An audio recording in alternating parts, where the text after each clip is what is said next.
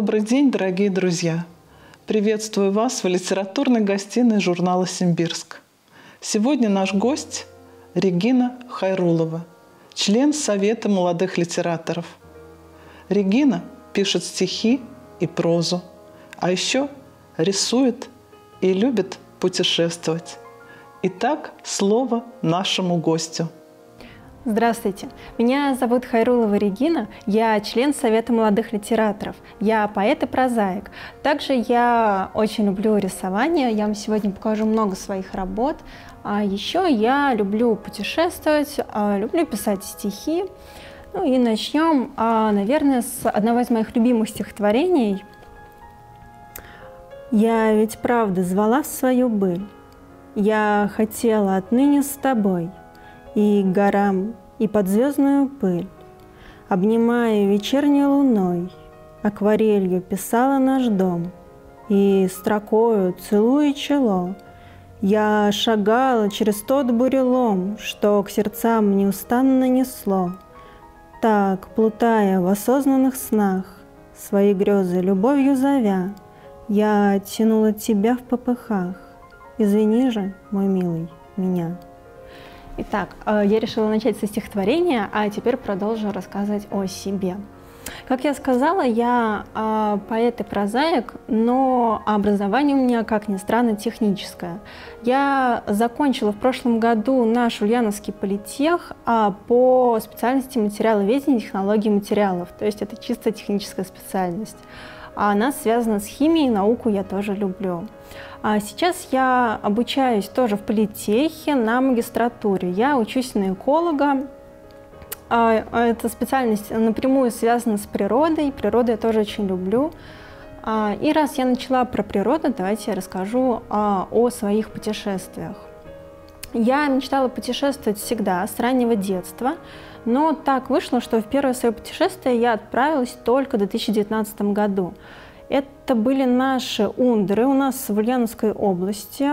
А, я поехала вместе со своей сестрой. А, мы там были всего лишь один день, даже не ночевали. А, пошли мы в первый поход в джинсах и в майке, то есть это абсолютно неправильно. Так походы не ходят, как я потом поняла, и поняла почему. Но мои походы начались именно вот с этого небольшого приключения. А потом через неделю мы с ней едем а, в город Казань, то есть я выезжаю наконец из Ульяновской области первый раз а, где-то с 7 лет, то есть я очень много лет не ездила никуда. На тот момент мне 19 лет должно исполниться, то есть это июль, в августе мне 19 будет. А, вот мы едем в Казань, а, и все, с этого начинается моя любовь к путешествиям. Мне хочется постоянно куда-то ездить. А, проходит время, я езжу еще а, как раз в Татарстан, езжу еще чуть-чуть по разным местам. А, время идет, ничего особо такого не происходит в походах, а я мечтаю попасть в горы. Это моя давняя мечта с детства, мне постоянно хотелось в горы. Я пишу стихи о горах, я пишу книги о горах. У меня в романах постоянно всплывает этот символ, как горы, постоянно персонажи туда попадают. И, в общем, все это тянется, тянется, тянется, и прошлый год наступает. А события так складываются, что сначала я попадаю в Сингелеевские горы, тоже наша Ульяновская область, мои первые горы. Сейчас я покажу рисуночек. А, вот это Арбугинская гора, наша в Сингелеевских горах. А я попадаю в свои первые горы, и э, на впечатлениях я делаю вот этот рисунок. Туда я уже еду более подготовленная, то есть это не джинсы, не майка, я уже осознаю, что такое поход, а, но а, у нас не задается с погодой, поэтому мы там совсем чуть-чуть находимся и потом скоро возвращаемся в город. То есть поход опять маленький. Но я мечтаю о больших походах. Я хочу в крупные, я хочу э, действительно восхождение совершить в горы. И опять же, если говорить о литературе, это постоянно сказывается на моих книгах. Я постоянно отправляю персонажей своих в горы. У меня героиня романа э, едет на Алтай покорять горы. Я пишу этот роман как раз прошлым летом. А, она приезжает на Алтай, она путешествует, у нее все хорошо. И в какой-то момент я вижу объявление, что в Ульяновске собирается группа, которая едет в августе месяце на Кавказ. То есть это тоже горы не алтайские, но это горы Кавказа. Тут тоже очень крупные горы, очень такие а, значимые. Это Эльбрус. А, к Эльбрусу у меня особая любовь. А, и я думаю, может быть, поехать. Но чтобы было понятнее, с чего я вдруг решила поехать так далеко, это все-таки Кавказ, нужно ехать двое суток на машине, мы поехали чтобы было понятно, с чего вдруг я, которая только в соседней области выезжала, вдруг решила на Кавказ, я чуть-чуть расскажу о том, что происходило в моей жизни.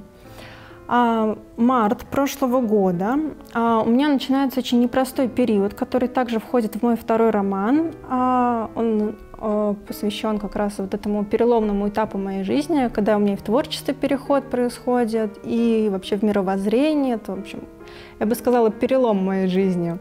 А, но очень нужно так было, чтобы случилось. И вот, а март месяц происходят такие события, что по разным сферам жизни у меня начинаются проблемы. То есть начинается там а, с дипломной работой, а, там на предприятии говорят, что они не могут выделить материал на мою тему, а уже приказы все вышли. А, мы переезжаем с родителями из дома, где я прожила 18,5 лет, то есть огромный кусок своей жизни, почти всю сознательную жизнь. Мы переезжаем в новую квартиру. У меня там еще были дополнительные из других сфер тоже трудности. И все это накладывается, накладывается, накладывается, и случается непростой период, когда, а, ну, это зовется периодом депрессии по-настоящему, если говорить как психологи. А вот в этом состоянии я вижу объявление о поездке на Кавказ. Это моя мечта, настоящие крупные горы, а не такие маленькие, как наши сингелеевские. И я все, я принимаю решение за одну ночь, я пишу, я говорю, я к вам записываюсь, э, я с вами еду. Мне говорят, может, еще подумаете, но все-таки за одну ночь решение приняли, у нас даже не знаете, с нами не ездили. А, это вот а, я рассказываю про замечательную такую женщину, как Лена Пескова. С ней я еще очень много куда съездила после этого. И вот она мне говорит, «А, ну если вы не уверены, может вы еще подумаете. Я говорю, нет, записывайте, я еду. Все, я еду на Кавказ, а, я воскресаю, никаких депрессий, ничего подобного. А, Все меняется в моей жизни, я попадаю на Эльбрус. Вот так выглядит Эльбрус. А, это действительно, он выглядит вот приблизительно так, небо без градиента. Вот у меня некоторые спрашивали, почему небо все сплошное синее. Оно действительно такое на Эльбрусе. А, мы идем по Эльбрусу, мы поднимаемся. А, подготовка у нас есть, но снаряжение для восхождения на вершину недостаточно. Но тем не менее мы решаем пройти столько, сколько сможем. Мы все-таки не шли с целью покорить вершину, мы шли просто а, в походы. Это у нас третий день похода. Мы идем на Эльбрус. Мой личный рекорд 4200. То есть у нас это пятитысячник, он за пять тысяч у него высота, у меня 4200. Вот я добираюсь э, до этой вершины, ну не до вершины, но на пути к вершине. Вот, я мечтаю однажды все-таки взойти на вершину Эльбруса. Вот, ну посмотрим, как получится. Мечта такая есть. Итак, я возвращаюсь с похода, и начинается огромный всплеск э, уже литературный. Э, все это повлияло на меня э, и в рисунках, все это проявляется, как я показала на некоторых. И у меня возвращается любовь к поэзии. Я начинала свою литературу как раз с поэзии. Но примерно лет в где-то 12-13 я подумала, что я пишу недостаточно хорошо стихи, что там рифмы, ритм, туда нужно смысл заложить, нужны э, литерация, ассонансы. Я как все это прочитала, думаю, боже мой, я такое не смогу все, я на какой-то период оставляю а, поэзию. Этот период получается где-то с 12 лет до моих, а, это получается 22 лет. То есть 10 лет я не занимаюсь поэзией, редко что-то бывает, там одно стихотворение в год, ну дай бог, это вот, вот так. Но я вернулась с Кавказа. А у меня в прозу все это уместить не получается. Я до сих пор работаю над романом, то есть я его уже который но вот уже второй год я пишу конкретно по вот этим событиям, которые там произошли. И до этого я еще начинала этот роман. А все это вложено в роман. Весь мой поход кавказский но проза не справляется с теми чувствами, которые меня обуревают. Они лезут наружу, они бьют фонтаном. Я вспоминаю, что есть поэзия. Я начинаю писать стихи.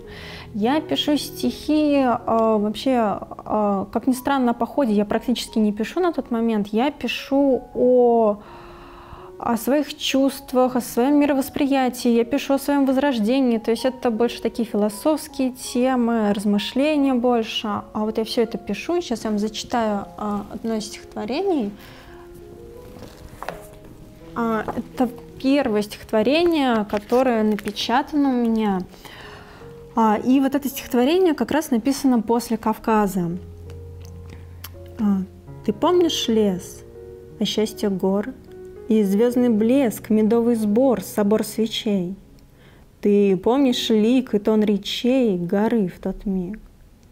И чистоту стремления, и чистоту биения в груди, где боль сменялась вдруг на благость. Коль, любовь, мой друг, во мне жива, я озарю ей мир, тебя благодарю. Мне жаль, прости за ран узор. Ты помнишь стих о счастье гор? То есть горы начинают появляться теперь у меня и уже в поэзии. Это вот журнал «Симбирск». А, это очень а, такая была важная для меня публикация. Это первая публикация в журнале для меня. Вот здесь а, сказка Ивана де Марина, я ее тоже чуть позже зачитаю. Она отправлена была раньше в Симбирск, но напечатана позже. То есть вот это вот мой первый вообще журнал. Я его зачитала весь, я все здесь листала, очень а, рада была ему. А, итак, это про Кавказ. А, идет время, у меня происходят разные события в жизни, потихонечку жизнь идет своим чередом, а, выходит а, в печать вот этот журнал. Это тоже журнал «Симбирск». И здесь напечатана сказка Ивана Марина. И еще она же напечатана а вот в этом сборнике. Это очень важный для меня сборник в объективе слова. Что это за сборник лично для меня? Это моя первая печатная публикация вообще, в принципе. То есть я публиковала свои истории а, в интернете, как многие делают, с издатом, писала от руки, но вот это первая действительно книга, настоящая бумажная книга, в которой я увидела свою сказку, а то, что я писала, лично я написала. Это было очень а, для меня трогательно. А, я почти расплакалась на вручении этого сборника. Я долго успокаивалась. Ну, в общем, эмоции били через край. А, вот, это в истории я добралась сейчас в своем творческом пути до осени прошлого года. Но я начала с переломного этапа. Что же было до него? Все-таки творчеством я занимаюсь с детства. А, как я сказала, я начала писать в начальных классах. Это были стихи, это были сказки. Первая моя сказка о птичках. То есть природу я любила уже тогда. А, я писала, чуть-чуть рисовала, ну, как все дети, просто там в школе рисовала время от времени. А, но в 2018 году случилось такое событие, которое заставило меня спасать себя в творчестве, просто спасать свою душу и а, уйти в творчество. Она действительно исцеляет искусство. А в этот период, чтобы было понятнее, у меня умирает мой папа. И это событие очень сильно бьет по мне я не могу с ним справиться, мне не помогает, а, вот как там говорят какие-то методы принятия, вот это все, мне ничего не работает, я его очень любила, и а, я начинаю писать историю. Это моя первая история, я ее писала много лет до этого, но писала там на уровне страничку в год. А чтобы как-то себя успокоить, я начинаю убегать в этот выдуманный мир. Там у меня в этом мире свои законы, там никто не умирает никогда, там все хорошо, все счастливы, у них там свои какие-то есть затруднения, но никто никогда не умирает, это главное. А, вот, это первая такая история. Недавно я к ней тоже обращалась, посмотрела. Ну, может быть, получится с ней что-то еще сделать. Это 18 год, и получается с 18 года по а, прошлый, 23 год, я вот пишу просто на уровне пишу, публикую что-то на своей странице в социальных сетях, что-то как-то показываю знакомым, но а, к совету молодых литераторов я не иду, я никуда не публикую, ничего не происходит. Ну, то есть я все это, как говорится, в стол. А, чуть-чуть показываю людям, но по большей части это в стол. А происходит такое а, событие очень интересное, что несколько человек одновременно мне говорят об одном конкурсе. Конкурс «Пиши не в стол». А, мне это говорит мой преподаватель в университете. Я ей очень за это благодарна. Говорит моя подруга лучшая ну, одна из моих близких подруг. А, а мне это всплывает просто в новостях ВКонтакте. Я думаю, ну что ж такое? Ну, из трех разных источников. Надо попробовать. Я прихожу, ну не прихожу, точнее, я просто присылаю э, туда свою сказку Иван да Марина, это как раз все еще она. А, и это получается у нас февраль как раз прошлого года. А, я присылаю, а благополучно забываю, думаю, ну, вряд ли я что-то выиграю, что-то куда-то я попаду, ну, ничего такого особенного там нет. Но а, я занимаю а, второе место с этой сказкой. А, ее обещают напечатать. Как раз ее напечатали в этом Симбирске в журнале. А, ее обещают напечатать. И я думаю, боже мой, я что писать умею? Вот. А я пошла туда с подружками на подведение итогов. Мне страшно было. Она тоже подавалась туда, она со стихами была. Вот я сижу и говорю, слушай, я боюсь. Я сейчас не скажу то, что все ужасно, ничего не нравится никому, я расплачусь. Она говорит, сиди, не бойся. А, вот. Она меня очень тогда поддержала. А, получила я это второе место. Я до сих пор смотрю на этот а, сертификат в рамочке. А, успокаиваю себя, когда думаю, что я писать не умею, думаю, ладно, что-то, наверное, все-таки умею. Вот. Так я знакомлюсь с советом молодых литераторов. Что я делаю потом? Я думаю, ну раз сказка заняла не первое место, значит, ее можно как-то улучшить. Я включаю логику и думаю, интересно, а как? Смотрю на сай... в группе Совета молодых литераторов, а у них проходит заседание их литературной студии. Думаю, Ладно, раз я такое пережила, попробую отнести к ним на разбор. Я прихожу, первое мое заседание, я сразу прихожу к ним на разбор. А, я даю им сказку, начинается настоящий разбор произведения. Я уже закаленная, я проходила разные конкурсы в интернете, а, самосуд. Самосуд — это страшнейшая вещь, люди пишут все, что думают, совсем некорректно порой. Поэтому я сижу, я уже думаю, ладно, я закаленная, мне уже не страшно. Но это на прозу так, с поэзией так не работает. Вот, я все это слушаю, записываю себе, думаю, ну ладно, вроде не так страшно. Прихожу домой, и честно, я не могу писать несколько дней. У меня не пишутся ни строчки, я думаю, все, все, что я пишу, зачем я пишу, с какой целью, с каким смыслом, что я туда вкладываю. То есть я начинаю думать, а зачем я вообще занимаюсь искусством, что я хочу сказать. А, проходит несколько дней, я понимаю, что нет, писать я хочу. Э, я хочу э, говорить о себе, о том, как я вижу мир. То есть в основном я в книгах показываю и в поэзии, и в прозе свое восприятие мира, как я вижу, как я живу. А, вот, я все это себя продумала и думаю, ладно, я буду писать дальше, посмотрим, как пойдет. Потом я прихожу еще на несколько заседаний, но уже я больше не разбираюсь, я пока не готова. Вот, я прихожу на заседание, я знакомлюсь а, с замечательными нашими местными молодыми литераторами. Со многими я сейчас уже практически сдружилась. Мы потом еще очень много раз видимся.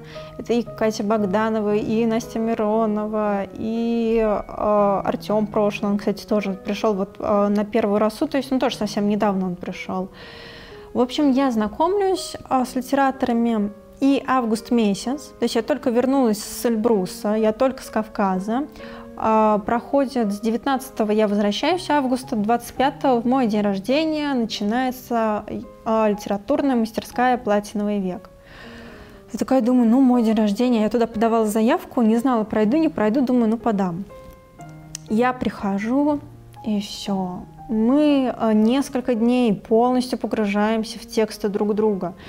У нас лекции к нам приезжают из Петербурга, и из других городов лекторы. Нам читают действительно люди, которые издаются, публикуются, которые известны в литературной среде. Это и журналисты, и поэты, и прозаики. Вот я помню, Роман Круглов нам читает лекцию, он из Санкт-Петербурга.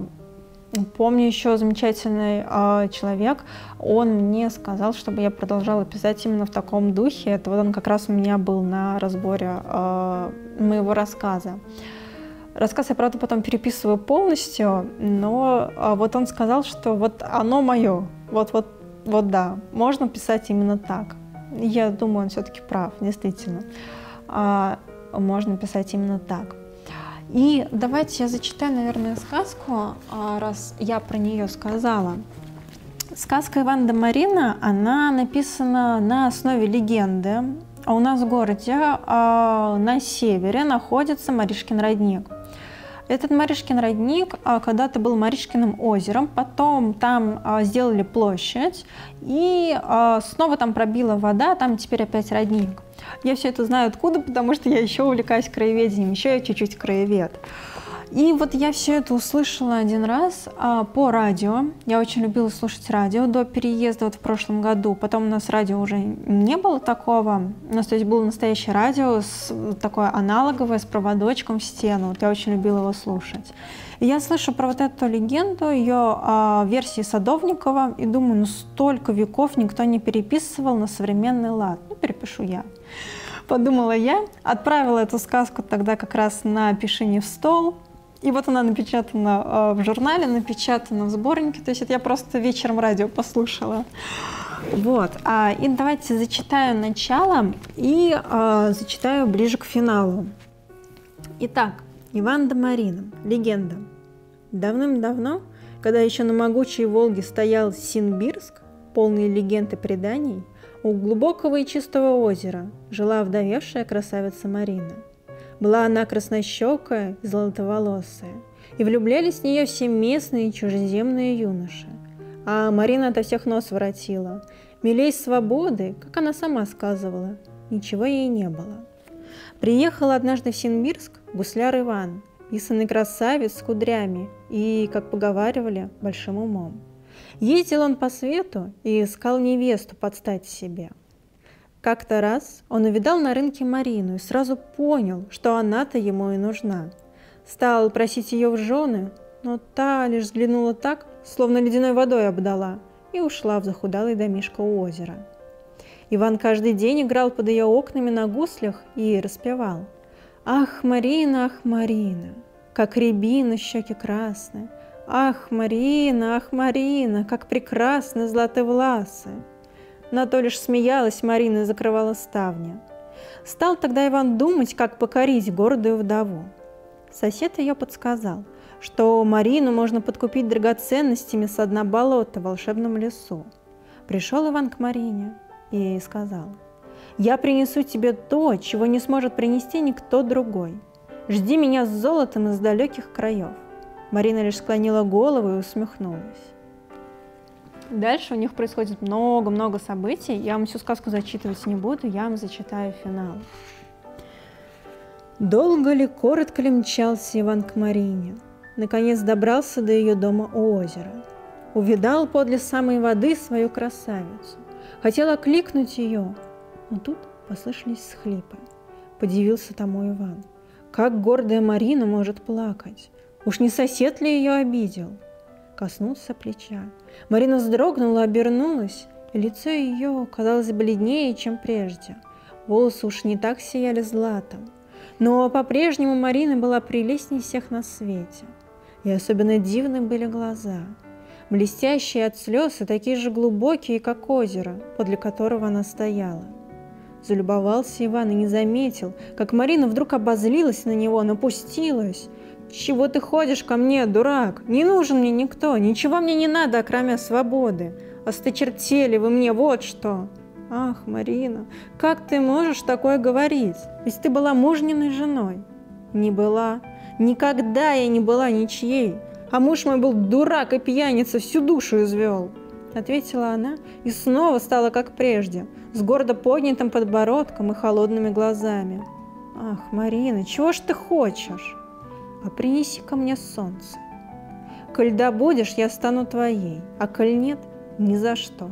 Со злостью сказала Марина и скрылась в доме. Ушел с этим обещанием Иван и стал голову ломать. Как добыть само солнце? Хотел душу отвести на соседя, да тот на глазах Ивана обратился в черта и умчался в сторону волшебного леса.